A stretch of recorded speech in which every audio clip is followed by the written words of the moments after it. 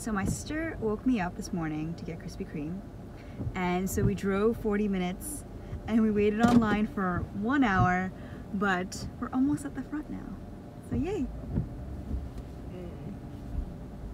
Okay, I finally went over the hump, Sue. Excellent work. Metaphorically and in real life.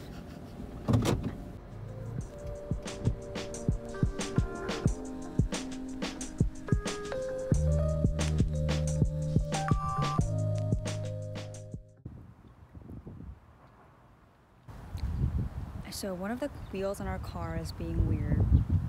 So we're stopped out here and we're waiting for my parents to come pick me up. And I'm gonna eat these donuts stressfully. I'm actually parked in front of my friend's house. She's staring at me from the window. Was this worth it? Yes. Actually, I don't know it's kind of cold outside.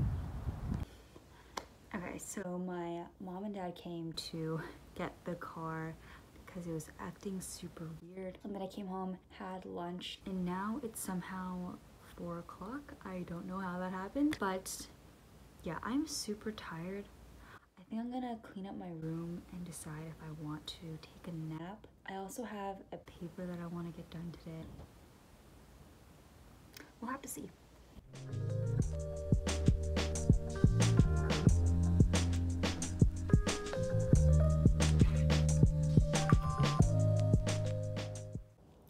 So my room's not completely clean, but it's good enough. And I'm just super tired. I think I'm just gonna take a quick nap. So here's my thought on naps during quarantine.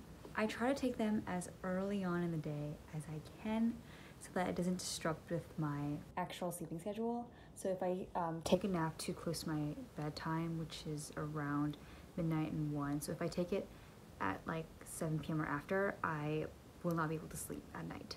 So I think I'm gonna take a nap right now and then finish our paper after that. I normally don't procrastinate my papers or anything like that. I really hate writing things last minute, but this actually isn't due for a long time. I'm just trying to get it out of the way. So I'm in no rush right now. So I'm gonna take a nap and then write my paper.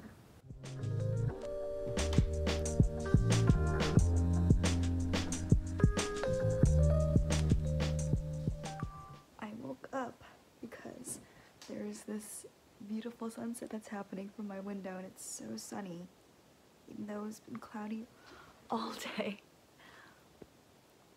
Okay, it's time to get my stuff together and finally write my paper. Just while I have a minute with the sun, I thought I'd talk a little bit about how I've been dealing with the quarantine. I have pretty bad anxiety and I've had it for a long time and I used to be really embarrassed about talking about it but now I've just been enjoying sharing my experiences and telling people how I've been working through it. I think in a time like this it's really important that we don't ignore these things and that we talk about it as much as we can. So these are just three things that I've been doing to sort of maintain my anxiety and ensure that I don't feel trapped at home. So the first thing that I've been doing is just letting myself be sad and to feel a lot of things things. This can be really hard to do and I struggled with it the first week or so that I've been in quarantine. I think my initial thought was that I'm not allowed to be sad because this isn't making my life that much more difficult. I just have to stay at home and then I felt really guilty about being sad. So I thought I shouldn't be sad. I could take a break and I got to chillax at my house. I think that somehow made my anxiety a lot worse because I felt so congested with how I felt. And so by letting myself cry and feel sad if I need to, I felt a lot less congested and felt a lot of relief. My second piece of advice is to just have a space that is just for yourself. I know this can be really, really difficult. People are moving back in with their parents or are stuck at a place that they might not be used to. Um, maybe you're in a shared space that you don't really have your own section, but trying to find that space is really important. And I think for me, it's been incredibly helpful. I luckily have my own bedroom, so having my own space has been easy here. But previously in my old house when I didn't have my own space, I would go hide in my car or in the garage and just have my space there. By having my own space, I can cry or I can pray, I can read a book, Not that I ever really read, but I can just listen to my own music and I don't feel as trapped and I don't feel other people encroaching on that space because it's made just for me. I remember being in elementary school and middle school and just hiding in my garage. I would sit on a lawn chair in my garage and it wasn't the best space, but it was my own. And then my third piece of advice would just be to stay busy, but don't let it overwhelm you. I know all of the YouTubers I watch are about getting on that grind and being productive. And while that is helpful, I don't think being productive constantly is productive. So it's kind of counterintuitive. I've just been staying busy, but not always productive. I love building Legos and it's something that I've enjoyed since I was a kid. So me and my sister have been doing that and it's a lot of fun. And it might not necessarily be productive, but it's been creative. I've been able to spend a lot of time on it and it's really enjoyable. I also love painting, doing puzzles, and watching YouTube videos. I know that's not considered productive, but it's just been really helpful for me to pass the time and to ease my mind as much as I can. I also have my planner that I love and I've just been stretching things out. I have papers due, but instead of writing them collectively in three days, I might write it in a span of a week. And that way I am both busy and not overwhelmed with the work that I have to do. So those are my three tips. Of course, that's not everything I do. There's a lot of other stuff going on, but it has helped tremendously in reducing my anxiety while I'm at home. And with that being said, I'm gonna go write my paper. I have finally made it to my desk so I can write my paper. Okay, here we go.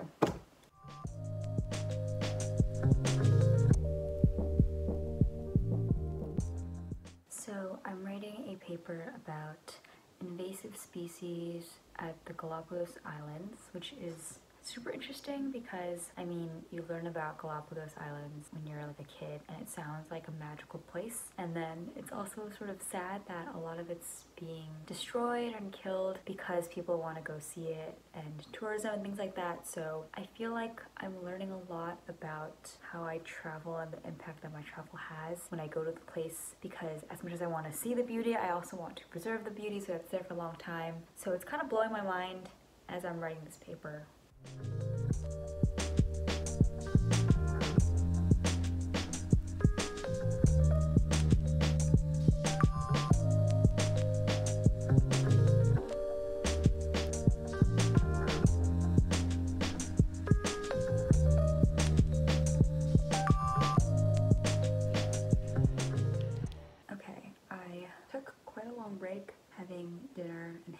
sister, watching some House of Cards with my mom, even though I saw that a long time ago.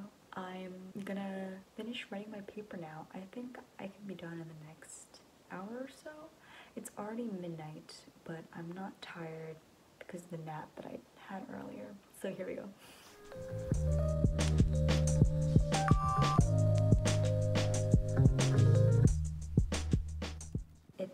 1.30 and I'm done with my paper. That actually took a lot less than I thought it was gonna take, but I actually gotta get up early and go to a meeting, No, it's Sunday, which is so annoying. That should be something to do, something to get me up in the morning. I think for now, I'm just gonna get into bed and watch some TV so that I can eventually fall asleep. So I'll see you guys next time. Bye.